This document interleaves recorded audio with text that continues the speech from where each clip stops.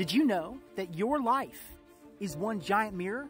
What you put out, you have got to get back. That's law of attraction. And you can never, ever, ever go outside of yourself and make the change that you truly desire. Ain't gonna ever happen.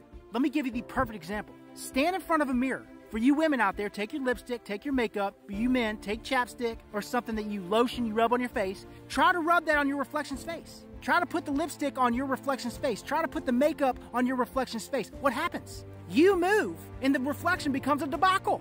That's what happens when you try to go outside of yourself to make the change. My wife, she was trying to help her dad. She had all these books that she read. She gave the books to her dad to read, and it seemed like for the first week he was like changing, he was changing, he was changing. But as she changed, as she evolved, she began to see a different side of him. And he eventually went back to the way he was. You cannot make a change out there. If you're trying to help a cause, you can't go out there to change it.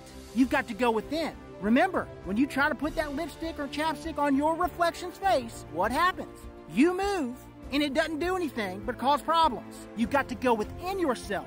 That's the whole point of this. If you want to see the change out there, you must first and only be the change yourself. You are the one with all the power. If you be love within, you have got to eventually see love without. And I'm going to finish this video up with this. Your mirror, your reflection, can never tell you who you are. It can only tell you who you've been.